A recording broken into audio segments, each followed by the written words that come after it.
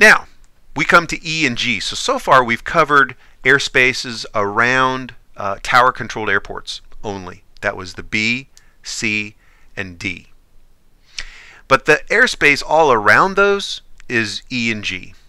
Now, typically, E is controlled airspace and G is uncontrolled airspace. And you'll notice that G is typically low level. It's usually found below either 1200 feet AGL or 700 feet AGL. I'm going to explain that in just a second. Most often, it doesn't go any higher than 1200 feet AGL, so it's pretty low level. But there are places where the Class G can go up as high, and that's what this drawing is trying to show us here, maybe not such a great way, that Class G can top out at 14,500 MSL. Now, where does it do that? Well, typically you would find areas that G goes upward above 1,200 feet over mountainous areas like the Rockies or Sierra Nevadas, and they'll depict that on the chart as to how high it does in fact go. Let's take a look at this because this kind of airspace, E and G, when we start talking about this, people start uh, scratching their heads a little bit because it is a little bit confusing, especially if you haven't looked at it for a little while. I think the right place to start is just sort of with a, default, you know, what does the average airspace look like between G and E? And then we can talk about the exceptions, exceptions to the rule, and so forth. So I, here's how I want you to think of it. Think of G for ground because it's typically on the ground, ground based.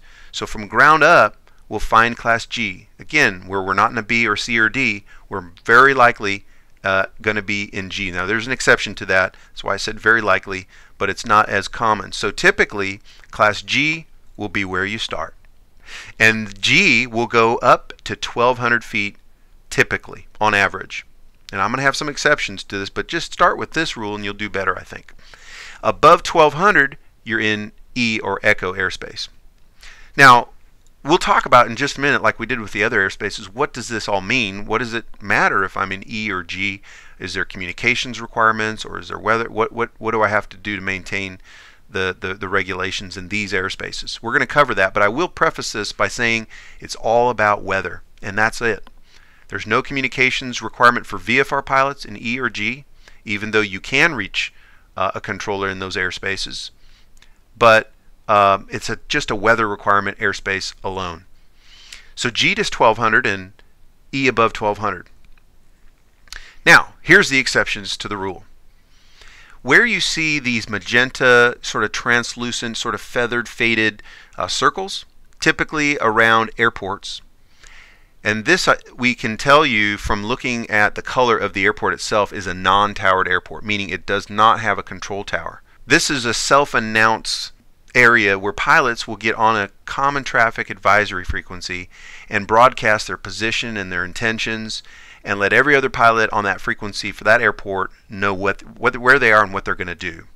And if there's any conflicts or issues with sequencing or spacing, the pilots will talk to each other. Okay, so they act sort of like the control tower. There's more of these non-towered airports uh, throughout the United States than there are control towered airports. So uh, you'll more than likely, if you haven't already, you'll be encountering a lot of non-towered uh, airports. Most of the time, there are these magenta uh, shaded areas around the airport. Now, be careful; that's the same color as a Class Charlie, but Class Charlie was a dark, you know, thinner line, and it had two rings, a five and a ten, and so it looked very different than this. What this is about is in these areas inside the circle, the floor of Class Echo E airspace pushes down to 700 feet.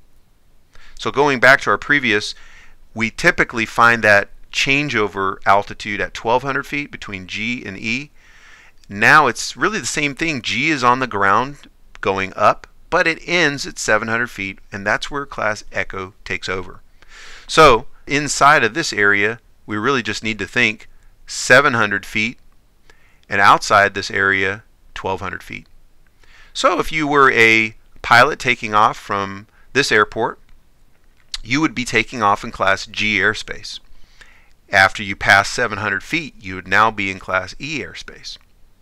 If you were a seaplane pilot flying your float plane off of this lake here, which sounds a great idea, uh, you would be taking off into G airspace. So the same thing. But you wouldn't cross over into E on your climb out until you reach 1200 feet. So if you can get your brain wrapped around that, that is some of the hardest part about E and G and just remembering what these circles mean. And there's just some more examples of, of a sectional chart where we can see some various airspaces. Uh, the ones we just talked about, where we got the 700 foot floors all inside these magenta circles. Notice all the way uh, around in a circular sense around uh, non-towered airports. There is one airport out here that is not in that area, and it's easy to try to uh, say that this is class G out here, uh, and um, and inside the circles is class E. It'd be nice if it was one or the other, but G is in here, and G is out here, and E is in here, and E is out here. The difference is 700 feet inside or 1200 feet outside. And that's what you need to keep straight, and that is probably the most common uh, mistake with E and G airspace. Now, just as a sort of a, another look at it in a 3D model sense, we would have maybe seen a, uh, this would be perfect if there was a runway right here, an airport, because typically that class E, which is represented by the purple here, goes down to 700 feet inside the magenta circles, and pops up to 1200 feet outside that area. So again, below these altitudes would be class G and above would be class E. Now, that leads me to the next sort of uh, exception to the rule. Here is an example where class E does go all the way down and extends to the surface. So there is no class G. We have eliminated class G. Where class E goes all the way down to the ground and eliminates entirely the class Golf airspace is where you have a dashed magenta circle. Again, we see here a magenta airport, which tells me it's a non-towered airport uh, because towered airports are blue always. But this airspace uh, around this airport with the dashed magenta tells me that class Echo goes all the way down to the ground and eliminates class G altogether. What that's going to do is that's going to increase the weather criteria or the weather restrictions in this area because E minimums are usually higher than G minimums in terms of weather.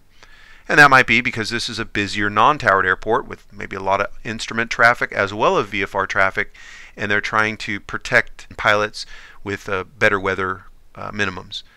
So if we were to go and move outward here to talk about the floor of E, we would say surface inside here, 700 feet inside here, and outside there 1200. So surface, 700, 1200. Now we get to what does this all mean? First I got to look at the chart and be able to uh, determine what airspace am I in, E or G. Now what we do is we say, well, what altitude am I at in E or in G, and we plug into uh, the weather graphs or charts to find out what is the requirement because the only requirement to maintain in those airspaces is uh, weather criteria. So let's take a look at Class E. Class E, if you're below 10,000 feet MSL, is 3 statute miles visibility. That sounds familiar. 500 below clouds, 1,000 feet above clouds, and 2,000 feet horizontal. Now, if we get above 10,000 feet, and I assume we got some mountains maybe we're dealing with, and hopefully some we're carrying some oxygen, aviators breathing oxygen with us, then notice the minimums go up to five statute miles. You almost double the visibility requirement. You double the distance below the cloud. The cloud above is the same, and you more than double the horizontal distance because now it's one statute mile instead of 2,000 feet. It's now one horizontal mile away from the clouds. The idea here really is that once you're above 10,000 feet, you're out of the speed restriction. And the 250 knot restriction below 10,000 feet is no more. So planes are moving faster, and they're usually bigger, faster aircraft up that high anyway. So they'll be coming out of that cloud with a little bit more momentum. And you need to have a little bit more visibility to, to see and react. So that's Class E, pretty straightforward. But it's something that you do have to commit to memory, not only for the written test, but also for your practical test, uh, your check ride with the FAA. This, all these weather minimums that we've talked about so far come from the regulations in Part 91. The regulations are divided up into different parts, and 61 is all about certification, and 91 is all about operating rules. And so this is found in 91.155, and it looks just like this if you have your your uh, FARs. Now in Class G, I specifically saved that for, for, last, the best for last, because this one is a little bit more complicated. As you can see, it takes up the whole half a page to talk about it.